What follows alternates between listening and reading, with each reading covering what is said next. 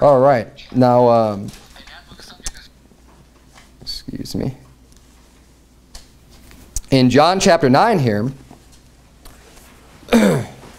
actually what I want to do real quick is finish up something. Remember last week in John chapter 8, I, I, there's one extra point that I wanted to, to bring up that I, that I realized later that I forgot to mention in John chapter 8. So I want to cover that real quick before we get into John chapter 9.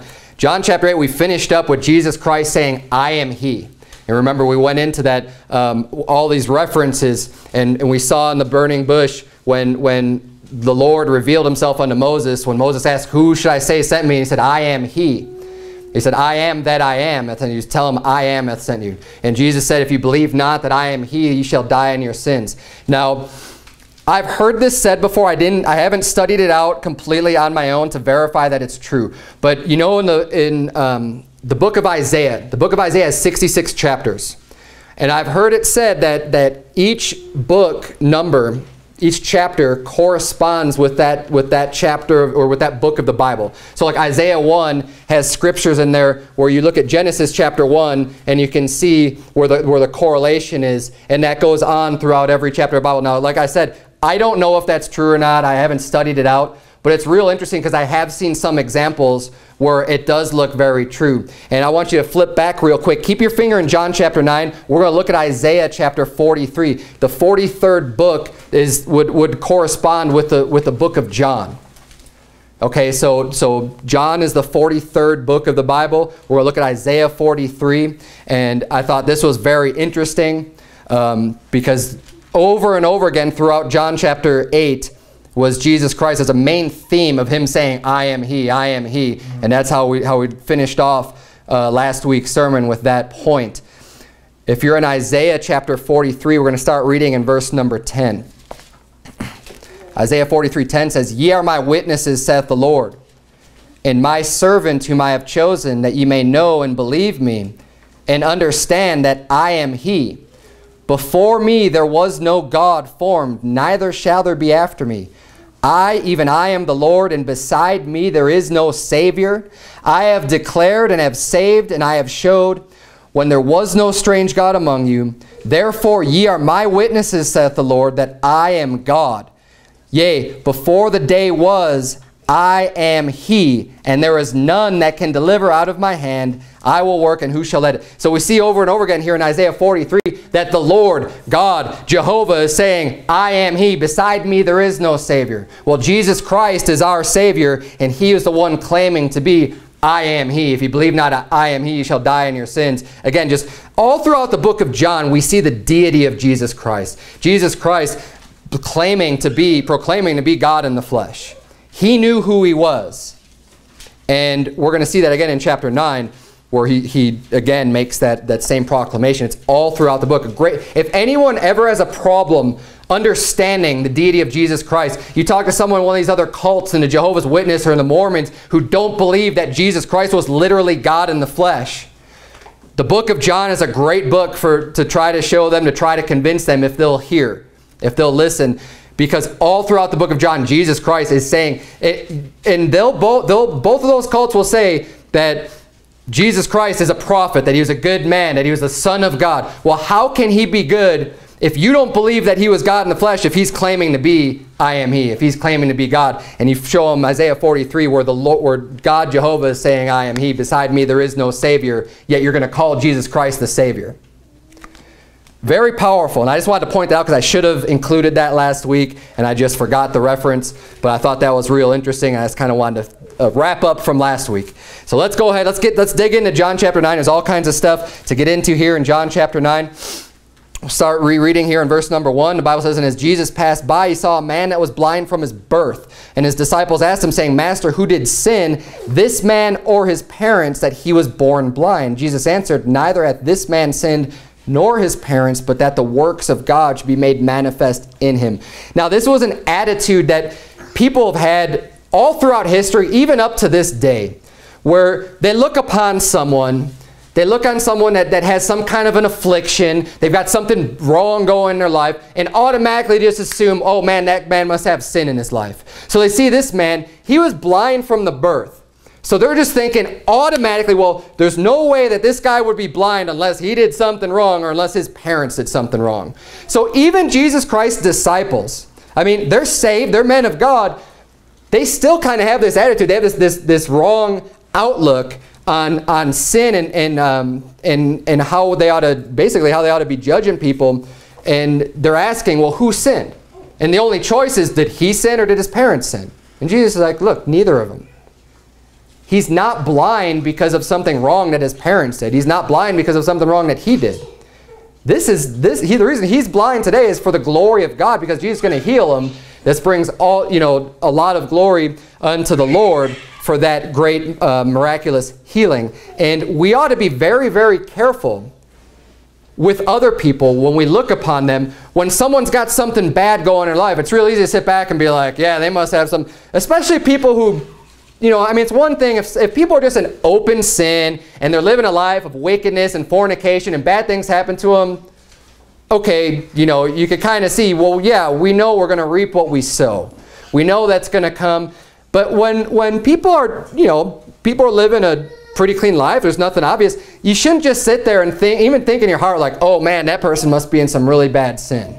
You know, sometimes there'll be, there'll be a lady that maybe loses a child, you know, um, whatever, whatever the circumstances may be. They lose a loved one. They lose their job. They have a major injury or an accident at work, and it could be just a, a freak accident. Just as just sit there and think, oh man, I wonder what kind of sin that person had. It's wrong. We ought not to just to just be thinking that way about other people that they just automatically just assume that they automatically must have some sin in their life. That's exactly what Job's friends did unto him. If you remember the story of Job, uh, you could flip back there if you would. In Job chapter 1, in verse number 1, keep your finger, we're going to keep coming back to John chapter 9, but I just want to point this out because this is an attitude that, you know, even the, the disciples were influenced by this false belief that, that just because someone has affliction, they must have done something wrong. And um, I preached about this just a couple weeks ago. We don't always know the reasons why bad things happen in our life. We don't always understand, you know, why things happen. There's, there's plenty of reasons why they, why they can, but we shouldn't just assume that a person has sinned just because bad things happen to them. We know, you know, Galatians 6 says, Be not deceived, God is not mocked, for whatsoever a man soweth, that shall he also reap. We know that to be true. Amen, that is true. But you don't always know why things are happening to somebody else. And that's why it's important that we, um, we ought not to just instantly just assume that someone might be doing something wrong. The Bible says in Job 1.1, There was a man in the land of Uz whose name was Job, and that man was perfect and upright and one that feared God and eschewed evil. So does, is the narrator of the Bible here in Job 1.1 telling us that Job was just in all kinds of sin? No, of course not. The Bible says that, that he was a righteous man, he was upright, he feared God. We saw him, you know, perform, doing, um, performing sacrifices for his children just in case they had sinned. He was living, there's not a man more righteous upon the earth than Job was at that time. He was the most upright man in the earth. The Bible explains that to us in Job. But what did his friends say? Flip over real quick to Job chapter 4. This is one of Job's friends basically accusing him. Job 4, verse number 7. This is one of Job's friends answering him and trying to explain something to him. He says, Remember, I pray thee, whoever perished being innocent, or where were the righteous cut off? Even as I have seen, they that plow iniquity and sow wickedness reap the same. So Job had his children killed. Job had all of his, his wealth just depleted, his livestock gone. And of course, we know from this story, we have the advantage of being able to look at the whole thing. We know that it was the devil that was provoking it to happen, and he's the one that caused all of these things to happen. It had nothing to do with sin in Job's life. Yet his friends come and they're saying, oh yeah, see, you must have all kinds of iniquity and wickedness in your life because other, that's what you reap. You're, you're just reaping what you've sown, Job. And um, in Job 22, verse 5, you have to turn there, the Bible says, is not thy wickedness great and thy iniquities infinite? This is coming from Job's friends. They're saying, isn't your wickedness just great? And your iniquities are, are infinite. You just, you just cannot cease from sinning is what they're accusing Job of. But that's not what God said about Job. God said that he was a perfect man and an upright servant. He was, he was an upright man living at that time. We can't always understand why bad things happen, especially to other people, but it's wicked to just think that they have some kind of sin and wickedness in their life. Oh, but we just can't see it. We just don't know about it. Maybe that is the case. I'm not saying that's never the case, but we can't just sit there in judgment of other people and then just start, especially what his friends were doing, his, his lousy comforters coming to him and just throwing all this stuff at him. That's not being a friend. when your friend is down and out and they're having hard times, look, the, the worst thing you could do is just go and just start throwing things in their face. Okay, if you're going to be their friend, you're going to love them, you're going to be there for them, you're going to try to help them out and try to console them and try to comfort them and try to edify them. Especially if they're your brother in Christ. As they believe Job was, they just thought he was in all kinds of wickedness, even though they couldn't prove it and they had not a shred of evidence. And God said to the opposite. Let's go back to John chapter 9. But um, I just wanted to point that out here because, you know, it's easy to get caught up in this way of thinking that oh, here's somebody and they're, they're, they're afflicted for some reason and just automatically assume it's because of something they did. When it very, good, very well possibly could just be the that Satan attacking him. Or it could be some other person's sin caused that man to be blind. I mean, who knows? Um, if you don't know the reason, then, then, you know, I always like to think the best about people. When you don't know you don't have any evidence. You know, if someone comes and, and tries to spread rumors or try to gossip about people, hey, so-and-so did this. Look, uh, you, and I preached about this just last week, you ought not to be gossiping about them. You ought not to be a busybody and worried about what everyone else is doing. You know, mind your own business. And, you know, if it's something serious that needs to come up before the church, that's one thing. But it ought to be, you ought to be able to go to that person's face and say what, whatever it is, whatever complaint you have against them. And if it's something serious to bring before the church, then that ought to be done. But if you're just gossiping about, you know, oh, can't believe so-and-so is doing this or doing that, look, keep that to yourself. I'm not going to repreach that sermon. But um, it, it's this attitude, how do we look at other people? Do you love them? You have charity in your heart? Are you looking at them and just and just automatically assuming, man, they've got a lot of sin in their life? Or are you looking at them as a brother, as a sister, and thinking, oh, it's too bad. You know, I'm sorry, man. I, I have compassion on this person because there's, there's something wrong in their life. I want to help them instead of just automatically thinking, oh, man, they, did, they must have done something bad by God. Let's keep reading here. Verse number 4 says, I must work the works of him that sent me.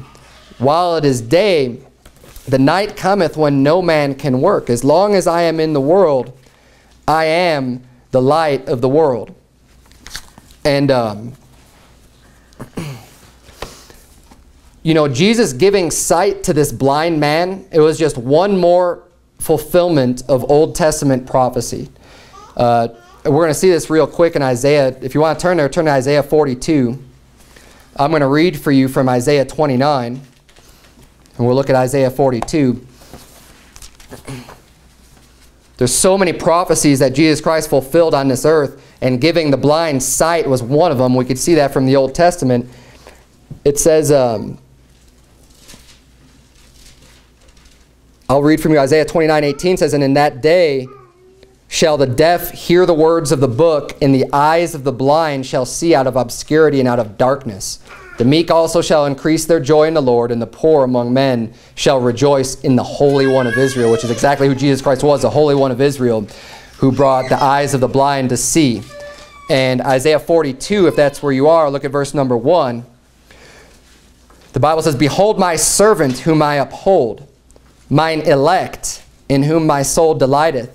I have put my spirit upon him. He shall bring forth judgment to the Gentiles and we see that also later in the same exact chapter that Jesus Christ says that he is come to bring judgment. And that, that's at the end in verse 39 of John 9 says, For judgment I am come into this world, that they which see not might see, and that they which see might be made blind. So in Isaiah 40, 42 verse 1 says, um, I have put my spirit upon him. He shall bring forth judgment to the Gentiles.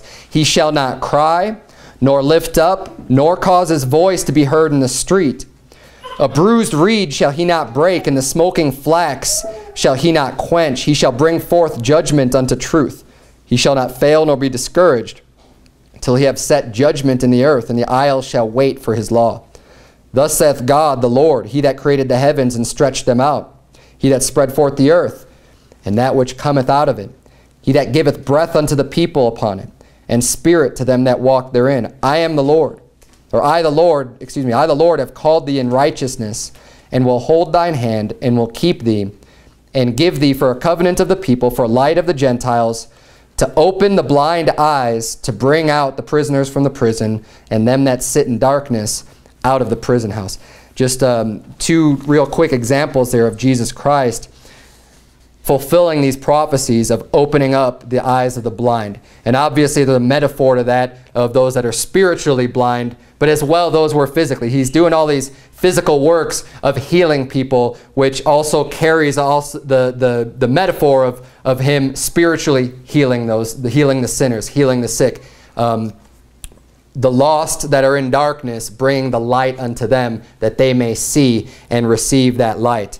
Um, we just read this. Flip back if you would. Actually, um, turn if you would to 1 Thessalonians chapter number 5 because we just we just got done reading in John 9 4 I must work the works of him that sent me while it is day. The night cometh when no man can work. As long as I am in the world I am the light of the world. Jesus Christ is the light. We saw that in John chapter 1 that he was the light that John came to bear witness of the light. It says he was not that light but came to bear witness of that light. Jesus Christ is the light that lights the whole world. He's explaining that here while I am in this world I am the light of the world bringing light to those that are in darkness. 1 Thessalonians chapter number 5. We'll start reading in verse number 1.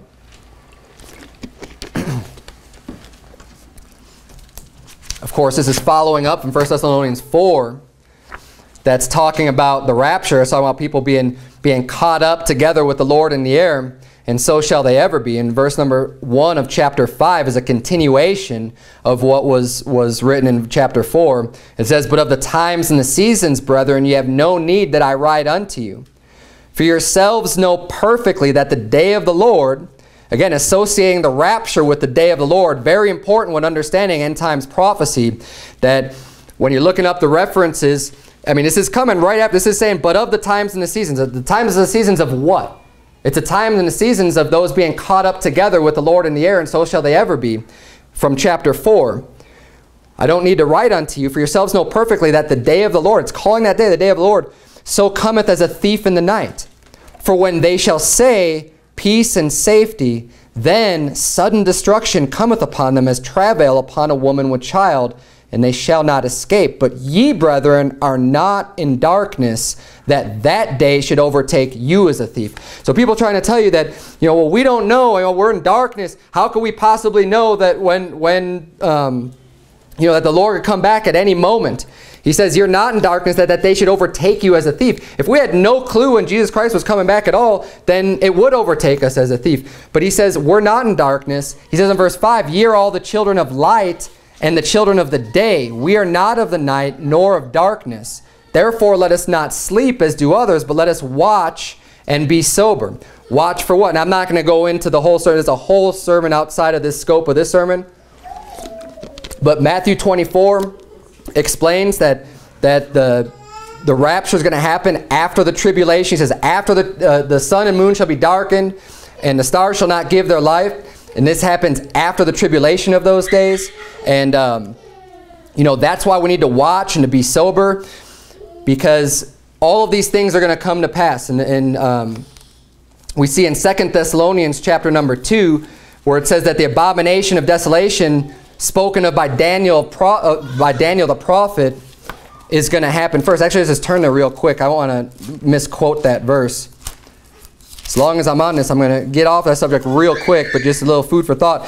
Second Thessalonians chapter number 2 explains, um, Now we beseech you, brethren, by the coming of our Lord Jesus Christ and by our gathering together unto him, that ye be not soon shaken in mind or be troubled, neither by spirit nor by word nor by letter as from us, as that the day of Christ is at hand. He's saying, look, don't let anyone trouble you or shake you thinking that the day of Christ is at hand, like it could just come right now. He says, don't be deceived by that. In verse 3, let no man deceive you by any means. For that day, what day? The day of Christ. For what day? The day of our gathering together unto him. As it says in verse number 1, Let no man deceive you by any means, for that day shall not come, except there come a falling away first, and that man of sin be revealed, the son of perdition. So in order for that day to come, that man of sin has to be revealed, the son of perdition, who opposeth and exalteth himself above all that is called God or that is worshipped, so that he, as God, sitteth in the temple of God, showing himself that he is God. When that happens, when, when, the, when the Antichrist, when the son of perdition comes, and he stands in the temple and he proclaims to be God, after that, then we can know that the day of Christ is at hand, but not before that. He says not to be deceived. Don't be tricked. That is not going to happen before that. And how do we know that? Because we're children of light. God has given us light. God has given us a revelation, and, and he gave to John the book of Revelation to reveal the things that were going to happen in the last days. But again, I don't want to make this an entire sermon based on end times prophecy. I'm going to do that again. I'm going to do that soon, but that's not time. We're going to, I got to stay focused on John chapter 9, but I wanted to focus on 1 Thessalonians 5. See, I get caught up into all these other sidetracks because we're so close to that scripture um, in, in Thessalonians. 1 Thessalonians 5 says, Ye are all the children of light. And this is how I got off on this to begin with. Um, this wasn't in my notes. I wasn't trying to go that direction, but I read it and it just it just comes out there. But Jesus Christ had said, as, I, as long as I am in the world, I am the light of the world in John 9. So we're looking at 1 Thessalonians 5 where he says, Ye are all the children of light and the children of the day. We are not of the night nor of darkness. Let us therefore, or let us, therefore let us not sleep as do others, but let us watch and be sober. For they that sleep sleep in the night, and they that be drunken are drunken in the night. But let us who are of the day be sober, putting on the breastplate of faith and love, and for an helmet the hope of salvation. So Jesus Christ is a light of the world right? And once you get saved, you have that light in yourself. We are children of light. We ought to walk as children of light and not walk as the world does, not walk as those that are lost and in darkness. We ought to put on, the, we ought to walk as children of light. And how do we do that? He says, you know, they that sleep, sleep at night, and they be drunken or drunken at night. So you ought not to be drunken. You ought not to be, you know, drinking alcohol, drinking booze, you know, getting high. He says to be sober. And, you know, people always like to ask that question. Say, well, you know, the Bible doesn't say anything about doing drugs. The Bible doesn't say anything about smoking pot, so I guess it's not a sin, is it? Well, you know what? It does handle that. It says be sober. Be sober. Now, you start doing drugs, would you call yourself sober? I don't think so. And you know, that also handles for the people that like to just, that still like to, to sip on their booze a little bit and say, oh, well, I'm not getting drunk. But are you sober? No. You take your first drink of alcohol, the first thing to go is your judgment. Even if you're not drunk, even if you're not falling over yourself and tripping, you start drinking that alcohol, you are no longer sober. You are no longer completely clear-minded.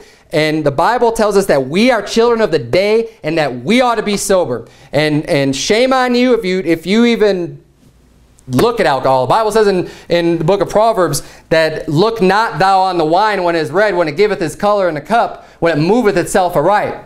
He says don't even look at it. Because all it's going to do is cause your heart to utter perverse things. It's going to cause wickedness. It's going to cause you to get into further sin. Alcohol is like the poison of asps. Watch out for it. It's dangerous. It is a poison. Alcohol has no good benefit or effect for you. People, the doctors that claim to say, oh, a glass of wine a day is good for your heart. You know why it's good for you? It has nothing to do with the alcohol content. It has to do with the grapes and the grape juice. You can get the same exact positive benefit from just drinking grape juice. The alcohol is a poison.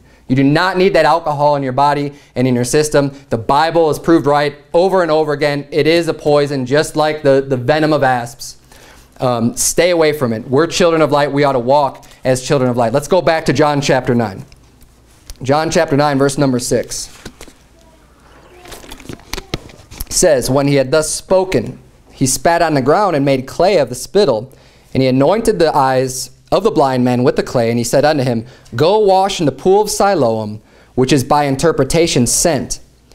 He went his way therefore and washed and came seeing. The neighbors therefore and they which before had seen him that he was blind said, Is not this he that sat and begged? Some said, This is he. Others said, He is like him. But he said, I am he. So this guy, Jesus Christ, he would, just getting the story here. This man's blind. He is blind from birth. Jesus Christ sees him, and he, um, he spits on the ground, and he makes clay, he makes mud, basically, out of, out of the dirt, and he, and he anoints his eyes. So he rubs, he rubs that, that dirt, that spit dirt on his eyes, and, um, and he tells him, okay, now go wash. Go wash in the pool of Siloam. And he does that. So he goes, he washes, and as soon as he washes, he could see, which is amazing. And think about how amazing that must be for this man. He's never understood sight. He's never had vision before. It's not like he had an injury where he used to be able to see, so he knows what it's like to have vision, but now all of a sudden he can't see and then he's healed again. He's never seen anything in his entire life. He's gone his entire life being blind. And Jesus Christ opened up his eyes. And again, that's, a, you know, you could think about that metaphorically as sinners. You know, we go through this world lost, in darkness, blind. We can't understand the truth. But when someone shines the light of the glorious gospel, those, those um, blinders that are over our eyes, that prevent us from knowing the truth and from seeing the truth and from, from understanding God's words. The moment you put your faith in Jesus Christ, hey, those blinders come off. All of a sudden, we can see. We can see what God has for us to do. We can understand His words. And that's, a, that's an amazing thing. And as Jesus is doing these things, it's an amazing miracle that he did for this man. I can't imagine what it must be like for a person like that to receive that type of healing. And people are looking at him and questioning, like, wait, isn't that the guy that was that's always begging? Isn't that the guy that's always by the church and he's always asking people for money, asking for help, you know, because he can't work, because he's blind? Isn't that, isn't that that guy? I mean, we've seen him our, our whole life. It's been that way since birth. Isn't that him? And what's he doing? He walk around, he could see now. And people are saying, no, like, that looks like him. You know, like, I think that looks like him, but no, that's not really at him. And he's saying, look, it is me. I, I'm, it's real. It really happened. He says, I am he in verse number 9. Verse number 10 says, Therefore said they unto him, How were thine eyes open? How did that happen? How can you see? He answered and said, A man that is called Jesus made clay, and he tells him the story, and anointed mine eyes, and said unto me, Go to the pool of Siloam and wash. And I went and washed, and I received sight. It's pretty simple story. So he, made, he made the clay, put it on my eyes, I went and washed, and now I can see again. It's from Jesus. Verse number 12, Then said they unto him, Where is he? And he said, I know not. They brought him therefore, or they brought to the Pharisees him that aforetime was blind. So they're bringing this guy before the Pharisees now. And we know all throughout the book of John, the Pharisees don't believe in Jesus Christ. There were a few that believed, but they wouldn't say that openly. And by and large, the Pharisees rejected Jesus Christ. They wanted to have nothing to do with him. And so they're bringing this guy before the Pharisees to get an explanation, explanation here. Verse 14 says, And it was the Sabbath day when Jesus made the clay and opened his eyes. And see how this keeps coming up. The Sabbath day, the Sabbath day. This is one of the reasons why the Pharisees hated Jesus Christ and they wanted him dead because they were thinking that he was disobeying the Sabbath, disregarding that, therefore he wasn't of God because he was breaking the Sabbath by healing people.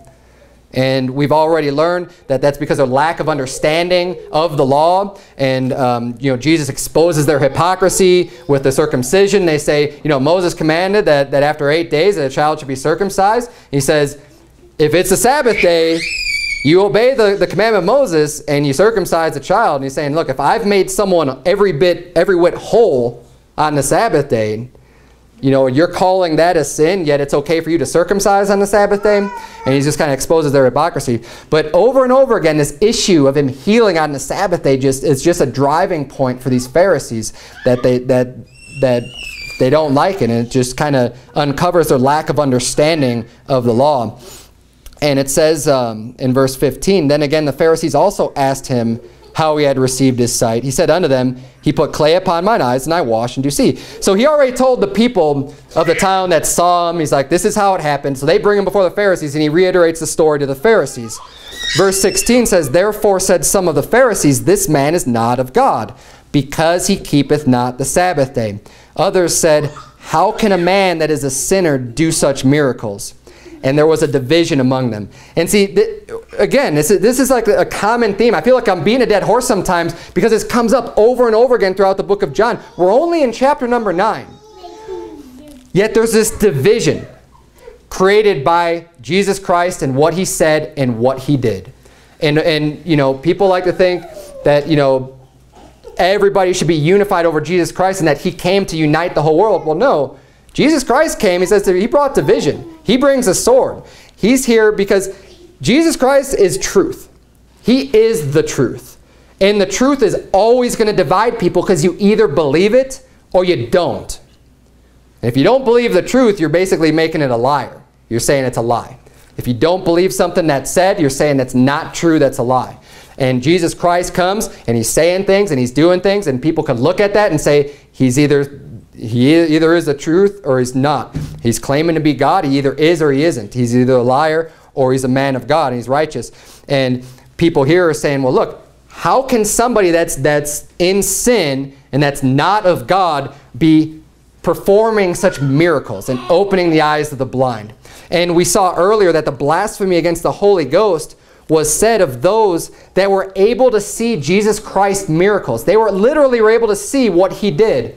Yet they, they said that he was of the devil, that Jesus had a devil, and that's how he had these powers to heal people. And the Bible said that that was the blasphemy of the Holy Ghost that never hath forgiveness. When you, when you can look at Jesus Christ, when you can look at the miracles that he's performing, the miracles that he does, and say, that's of the Satan, that's of the devil, and you, you're like he's physically there in front of you and he's doing this stuff, that's when you don't have forgiveness. That is when you have hardened your heart to the point of, I mean, that's like ridiculousness. I mean, think about, imagine if someone were to be alive today and were doing the things that Jesus Christ was doing. I mean, just being able to witness these types of works and the healing and the power and also fulfill, fulfilling scripture and doing everything, you know, if we were just to pretend that Jesus Christ hadn't come and the New Testament hadn't happened, and we were just to be in this time frame where we start to see this stuff happening, you would have to have a heart of stone, a hard heart to, to reject that and say, even though I see these miracles, even though he's fulfilling the prophecy, I'm, I still just don't believe it. And that's why the Bible says that they're, they're blaspheming the Holy Ghost and they're rejected because they've had way more than enough opportunity to see and to believe. And, um, you know, Bible, he, Jesus tells Thomas, you know, you believe, you've seen these things and you have believed. Blessed are they that have not seen and yet believe. So you have a lot more going for you when you can see the miracles and you can see these other things going on than when you can't see them. But um, and that's why he held them to the standard and, and, they were able to do that, that blasphemy of the Holy Ghost. But anyways, we see here that some people believed and some people didn't. Some people thought he was a man of God and others thought that he was a sinner. The Pharisees held with that point that, that nope, he broke the Sabbath day, he's not of God. Um, verse number 17 says, They say unto the blind man again, What sayest thou of him that he hath opened thine eyes? He said, he is a prophet.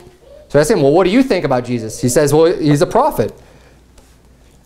And verse 18 says, But the Jews did not believe concerning him that he had been blind and received his sight until they called the parents of him that So now they're starting to believe, you know what, this you weren't really blind.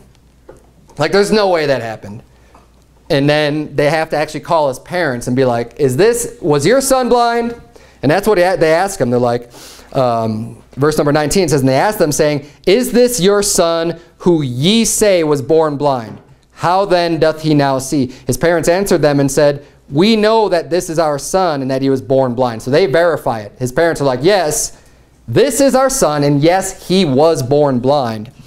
Verse 21, But by what means he now seeth we know not, or who hath opened his eyes we know not. He is of age, ask him, he shall speak for himself. These words spake his parents because they feared the Jews.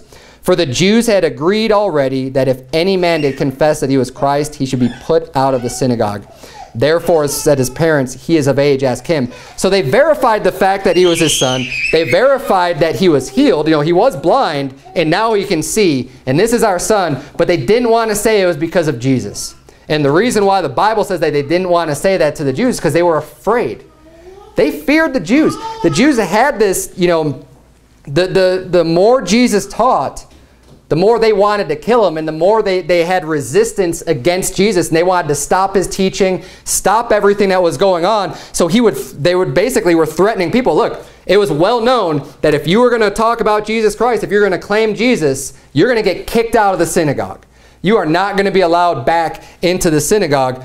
And um, that's why people, when Jesus went to that feast, no one spake of him openly for fear of the Jews. The Jews had this control over the people where, where, people were just living in fear of even talking about Jesus Christ because he was doing such a great work and they feared that was a threat to their power, as a threat to, to everything that they had going for them because Jesus Christ was upending everything that they did and everything that they believed in because they didn't believe on him.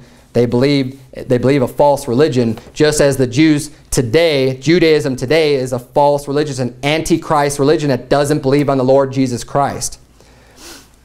So they, they say that, you know, they didn't believe, they didn't, they don't know how we believe. So they're just kind of pushing it off on their son. Well, just, just ask him, you know, hey, he's a grown man, he's of age, ask him, ask him how, how he, uh, how he's able to see.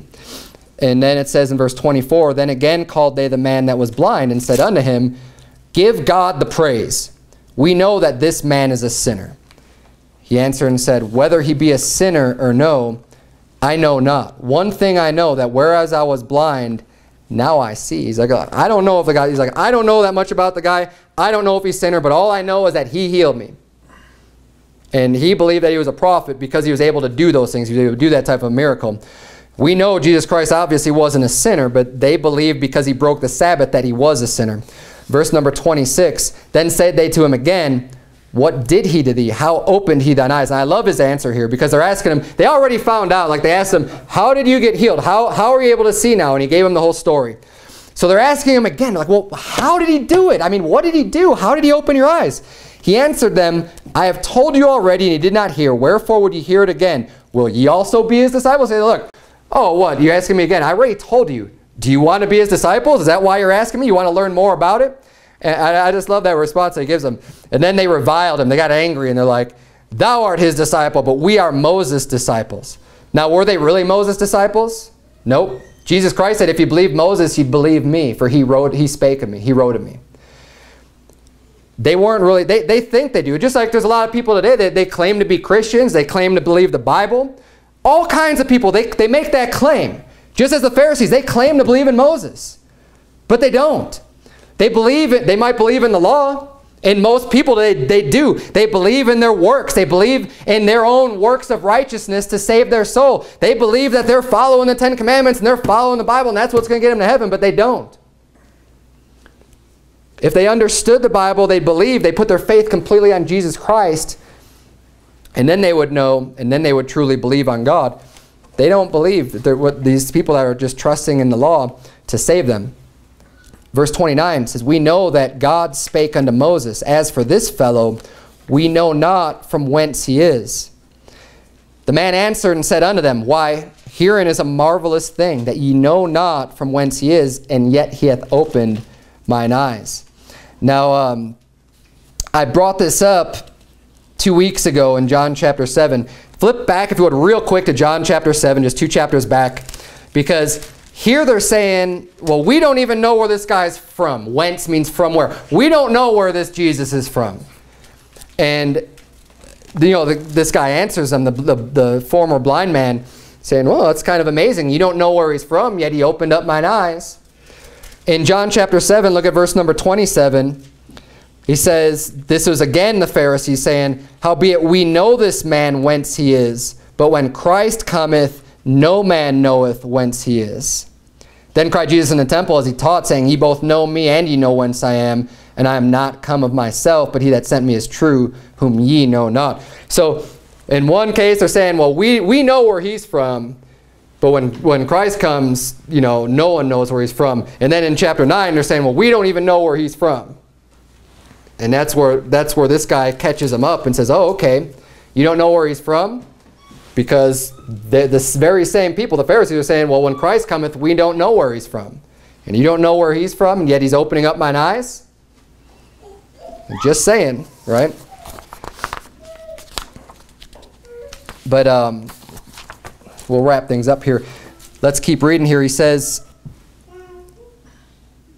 Verse 31 Now we know that God heareth not sinners, but if any man be a worshipper of God and doeth his will, him he heareth.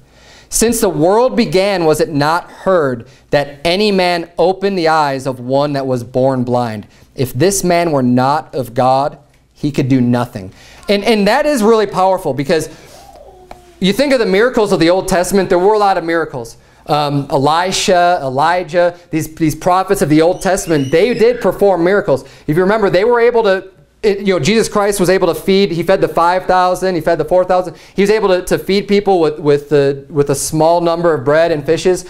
Well, that miracle was also performed in the past, a similar miracle. If you remember when um, Elijah went unto the, to the woman that was collecting sticks, that for her and her son to, to make a meal and then that they could eat it and die because they were out of food. And he goes, yeah, well, first just go and, and make me a cake first. And that miracle was performed that the, the oil failed not and, and they, they had um, the, the meal failed not from the barrel. Um, and they, they were able to eat of that meal for, for an extended period of time where that little bit of food that they had just continued. And there's other miracles where you can see they were repeated in the New Testament, but they weren't brand new. Opening up the, of the eyes of someone that was blind from birth, that was new. And you might even think that, you know, maybe someone who's been injured in their eye and they became blind, you could see how medically someone might be able to help heal them and bring them back to sight. But no one was able to be brought, given their sight when they were born blind, which is an amazing miracle and just a testament to Jesus Christ and who he was, that he was able to perform such a miracle. Now I want to focus a little bit on that statement where he says, Now we know that God heareth not sinners. Now when we pray, what are we doing? We're talking to God. We're asking God for things. So God needs to hear our prayers when we pray to him. And this man is speaking the truth when he's saying this. Now, sometimes you can't always believe what somebody is saying if it's not like Jesus or if it's not the author, you know, if it's we don't know if he's speaking, you know, of the Holy Spirit, but we can prove that what he is what this man that was that received his sight is saying is true from other passages of scripture when he said, God heareth not sinners, but if any man be a worshiper of God and doeth his will, him he heareth. This is a very important point that we need to understand that's going to help our prayer life. If you want God to hear you, if you want God to answer your prayers, we need to make sure that one, we're not living a sinful lifestyle. The Bible says, you know, he says that God heareth not sinners, but if we're a worshiper of God and we're doing his will, then he will hear us. And this is backed up by scripture. Turn if you would to 1 Peter chapter number 3. I'll read for you from Proverbs 28. You're turning to 1 Peter 3. Proverbs 28 verse 9 says, He that turneth away his ear from hearing the law, even his prayer shall be abomination. You know, a lot of people today would like to think, well, God hears all prayer. God, you know, you just pray. It doesn't matter what you're doing. You just keep praying to God. God's going to hear you. Well, some prayers, according to the Bible, are abomination. If you turn your ear away from, if, if you don't want to hear the law, if you don't want to hear what God has for you, why in the world do you think God's going to want to listen to what you have? You need to listen to God first. He's given us His law. He's given us the commandments. We ought to listen to Him if we expect God to listen to us. It says, it says it's an abomination, your prayer. I would hate to be praying to God and God just, just hating the fact that I'm praying to Him, that it's, that it's held as an abomination to Him. But that's the case if you refuse to hear His word. If you don't listen to Him from this first, don't go asking Him for things um, unless you're calling on the name of the Lord for salvation. That's about the only thing that I think He's going to hear. But even to do that, you're going to have to hear this book. You have to hear his word before you can call on him in belief, um, as Romans 10 states. If you're in 1 Peter chapter 3, look at verse number 12. 1 Peter 3.12 says, For the eyes of the Lord are over the righteous, and his ears are open unto their prayers but the face of the Lord is against them that do evil. So the eyes of the Lord are over the righteous, and his ears are open to their prayers, the prayers of the righteous, but the face of the Lord is against them that do evil. He's not going to hear those prayers. We have to do what's right. And then in 1 John chapter 3, you're in 1 Peter, there's a few more pages over. 1 John chapter 3.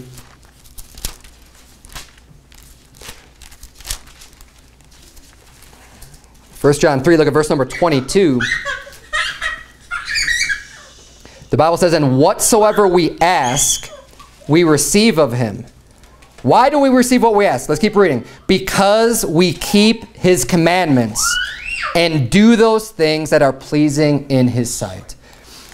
That is how you're going to get your prayers answered. If you have you have a burden on your heart, you have you have something going wrong in your life, you have something going wrong in a loved one's life, you have things that you need, and we ought to be going to God in prayer for, for all of our needs, for everything that we have going on. Well, hey, if you want those, if you expect those prayers to be answered, you better be doing what's right. We better be keeping his commandments. I mean, to the best of our ability. Obviously, we know that we're sinners. Okay, I don't expect anyone here to be a perfect person and obey his law and his commandments completely without error. That's not possible. But we can't just ignore his word. I mean, we can't, when you hear something, you can't just be like, oh, I don't like that. I'm not going to do that. I, I, don't like what the Bible says about drinking alcohol. I'm, I'm just going to ignore that part. Well, you, you decide, to, you start picking and choosing the parts of the Bible you want to listen to. God's going to start picking and choosing what prayers he wants to answer for you. But if we're doing what's right, if we're not, you know, turning our ear from God, He's, he's going to listen to you. The Bible says, ask and you shall receive. That's a great promise. You pray to God. Hey, we can be confident in the things that we ask him for if, there's a condition on it, if we're keeping his commandments, if we're doing those things that are pleasing in his sight. And you think about it, it makes sense. We're, if you're born again, you're a child of God. God's your father. And, and we'll break it down to a real simple illustration. My children, if they're not listening to what I'm saying, if they're disobeying me, they know the rules, but they just go out and they want to do whatever they want to do. And then they come to me and say, hey, Dad, let's go out for ice cream. Hey, Dad, can you get me this treat? Hey, Dad, I want to get this toy. How likely am I going to be to answer their request, their prayer to me, when they're just disobeying me and not listening? Not very likely. I'm probably not going to hear them. I'll be like, no. And that's exactly how I am with them. But now let's say, you know, they're doing good. You know, I tell them, okay, I need you to clean up your room. And they go and do it. Hey, I need you to do this. And they do it. And they're not talking back, and they're just doing it. And to do now which is right. And, they, and then let's say they even go above and beyond what I'm not even asking them to do. Oh, here, Dad, here's a glass of water. Oh, thanks. You know, I didn't even ask for that. Then they come to me and just ask me for something. How likely am I going to be to answer them? Probably, if, if, I'm, if I'm able to do it, I'll probably do it.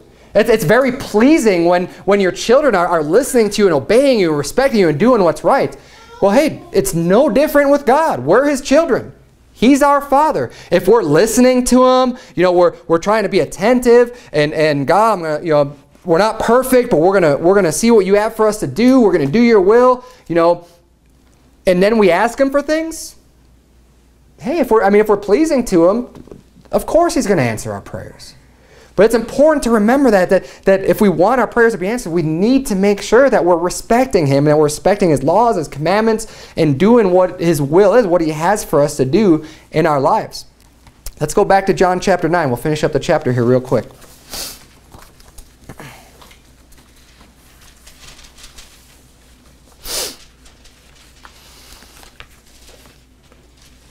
So this man answers him. He says, you know, if this man were not of God, he could do nothing. There's no way he'd be able to heal my eyes if he wasn't of God. God has to be with him in order to perform this type of a miracle. And they really don't like that answer. So they answer, the Pharisees answer him back in verse 34. They answered and said unto him, Thou wast altogether born in sins, and dost thou teach us? And they cast him out. This is that proud attitude that the Pharisees had. They looked at people as just, oh, you're not learned. You're ignorant men. That's how they looked at Jesus Christ's disciples. Oh, these are unlearned and ignorant men. They're just, they're just fishermen. You know, they just, they just have this blue collar job. They just work in a trade. What do they know? They're ignorant. We know all this stuff. We were taught in all these ways. You know, we have all this understanding and all this skill. And they just look down on people all the time. And as I mentioned in my, in my sermon recently about taking correction, look, if it's coming from God's word, God's word is the truth.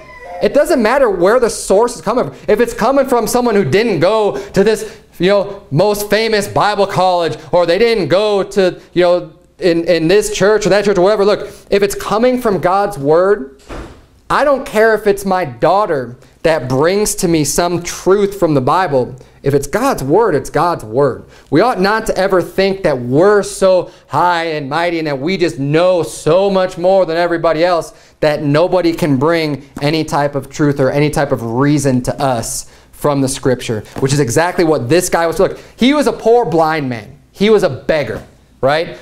He's not somebody that was held in reputation as someone who just knows the scripture and knows the Bible. But he, this was what he was saying was absolutely true. And those Pharisees needed to hear that, but they didn't receive it because they were just too proud and, and relied on their own understanding too much.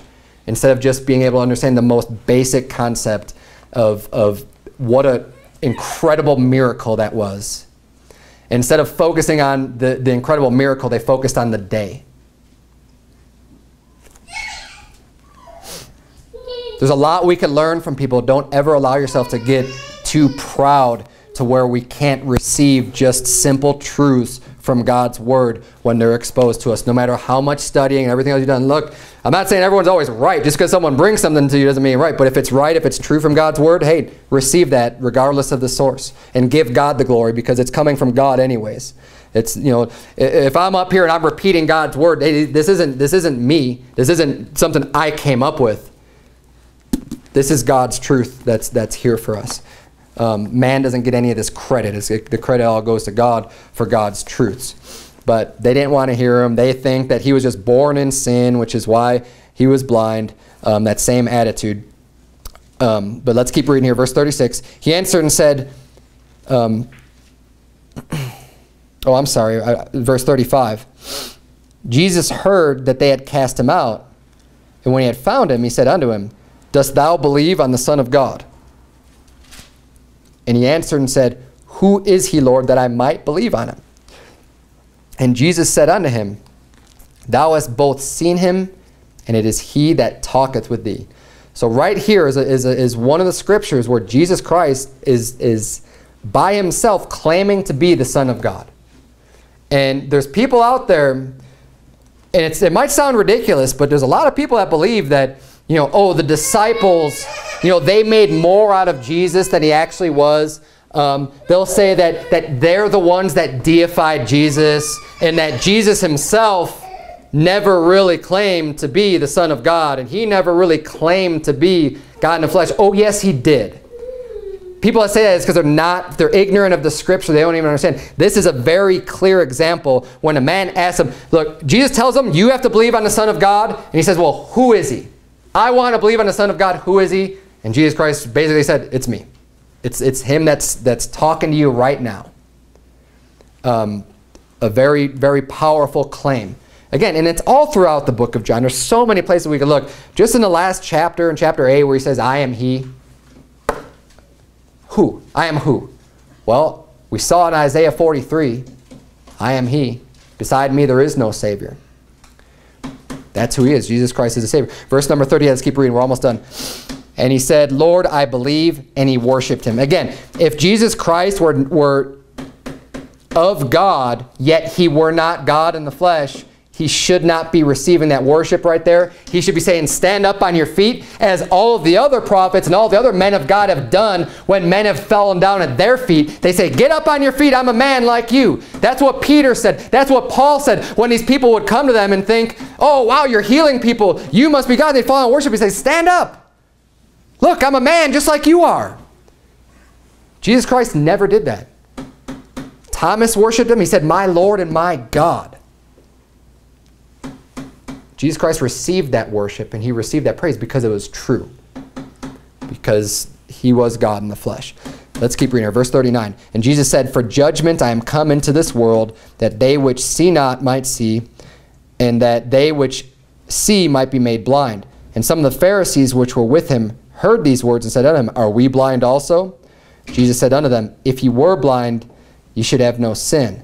But now you say, We see, therefore your sin remaineth. I love how Jesus, you know, Jesus was not this effeminate, you know, hippie peacenik that just never wanted to get an argument with anyone, that always was just, you know, walking around and, and was, you know, never had strife with, with anybody.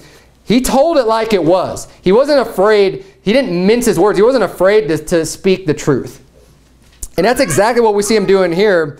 I mean, he wasn't afraid to tell the Pharisees right to their face that, therefore, your sin remaineth. Hey, you're still in your sins. You think that you see. You, you don't think you're blind. You know, they're, they're kind of mockingly asking him, oh, are we blind also? Because they thought they were so smart. They thought they were so read, well read in the Word of God. He says, you know what? If you were blind, basically I wouldn't hold against you. You wouldn't, you wouldn't have had sin if you, if you really were blind. He says, because you say you see, because you think you know, hey, your sin remaineth. And um, Jesus didn't, didn't walk on eggshells around these people. He didn't mince his words. He didn't, he didn't hold back. He, he spoke the truth. And he spoke the truth in love, but he, but he didn't hold anything back. And um, you know that's the way that, that a man of God ought to be, is not afraid to preach the word, not, not compromising, not being worried about who I may or may not offend if you're preaching God's word. It never ought to be watered down or held back. You know, the Bible says what it says, and that's one of the reasons why we do these Bible studies on Wednesday nights um, where we go through every verse of these chapters because, you know, one day at the end of, Lord willing, if I'm still around, I think it's going to take like 33 some years or whatever to get through every book of the Bible going one chapter a week. Um, you know, we'll get through all the words of God. We're not going to leave any of this unpreached. It's all going to be preached. We're going to touch on all of it because it's all truth and, and we can get something out of everything. We're not going to say, oh, well, I'm not going to preach that because that might offend some people. No way. No way. Shame on you if that's, if that's what you think. Um, God's words are pure. This is truth. We're gonna, we're gonna. I stand on God's word every single last verse, every line. It's, um, you know, I'm not gonna let this world or the philosophy of this world corrupt me into thinking that, oh, well, that's I shouldn't talk about that because I don't want to hurt someone's feelings. Well, if it's the truth, they need to hear the truth, whether it hurts their feelings or not. It's not, it's not my job to try to manage how someone else deals with hearing the truth. It's just my job to preach the truth. And that's what, how we ought to do it, is just preach the truth. And, you know, hey, either people are going to receive it or not. And I know personally, you know, I want to know the truth. That's what I'm interested in. That's why we're here at Word of Truth Baptist Church. We want to know what the truth is. We're not, we're not some, some little kids that are super fragile with our, with our emotions. Look, we can handle it. Tell us the truth. I just want to know what it is. If it, if it stings a little bit, let me know. I want to know it. Because I want to get right. I don't care if it, if, you know, if it, if it hurts a little bit. I want to get what's right. I want to know the truth. The Bible says the truth will make you free. Let's bow our heads have a word of prayer. Dear Heavenly Father, Lord, I thank you so much for, for the book of John and all the great truths that we learn from it, dear Lord. I pray that you would please just, just open up our eyes to your words. God, I pray that you please help us to stand strong in your words and, um, and never compromise and never back down. Lord, we thank you for these, these great stories in the Bible, uh, just showing the, the miracles that Jesus Christ did and um, the fact that, that he came to, to save sinners and he came to, to heal the sick and, to, and he raised the dead, dear Lord. I pray that you would please just Help us have unwavering faith in Jesus Christ and that um, we'd never back down from standing firm on your word. And it's in Jesus' name we pray. Amen.